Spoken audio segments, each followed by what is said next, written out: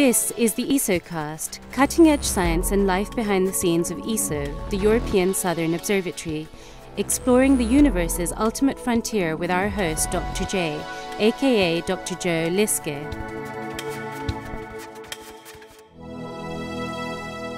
Orion the Hunter is one of the most striking constellations in the sky and is a familiar sight to amateur and professional astronomers alike.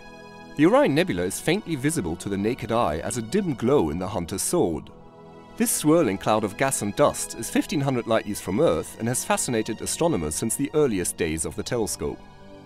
Appearing to the eye as a small cluster of blue-white stars surrounded by a mysterious mist, the nebula's vast dusty regions have long hidden from human eyes an enormous stellar nursery full of young, hot stars. The Visible and Infrared Survey Telescope for Astronomy, or VISTA, has taken a spectacular new image that reveals some of the nebula's buried secrets. VISTA is the latest addition to ESO's Paranal Observatory in Chile, and it's the largest survey telescope in the world, with a mirror measuring 4.1 meters in diameter.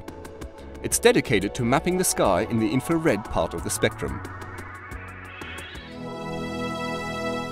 By looking in the infrared instead of visible light, Vista is able to peer straight through the obscuring gas and dust in the Orion Nebula.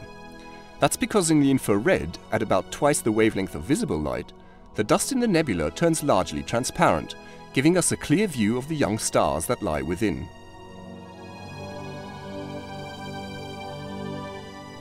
No other telescope has ever been able to not only see through the dust to reveal the hidden features buried within the Orion Nebula, but also to show its huge extent in amazing detail in a single image.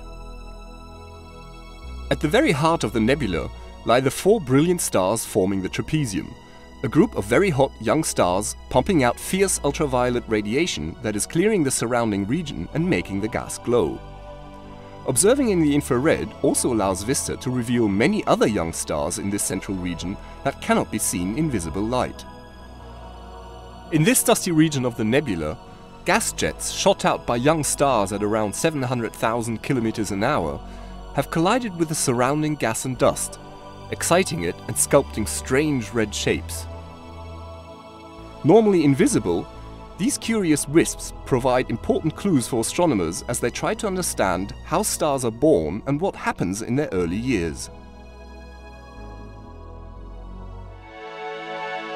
As impressive as this image is, it is just the beginning of what Vista will reveal with its unparalleled ability to survey the sky, both quickly and deeply in the infrared part of the spectrum. This is Dr. J, signing off for the ESOcast. Join me again next time for another cosmic adventure.